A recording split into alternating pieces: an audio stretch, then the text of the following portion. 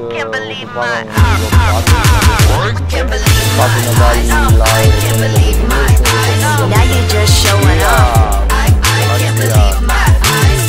Don't stop. Now you just showing up. se motiveze. Să faci sport de performanță nu este ușor, implică foarte multe sacrificii pe care, în general, oamenii nu le vor înțelege.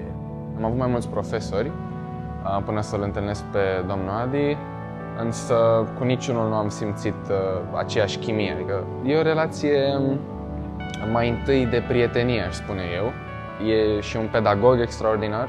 N-a avut niciodată metode radicale. Întotdeauna prin uh, ce am reușit să vorbim, cumva ni s-a așezat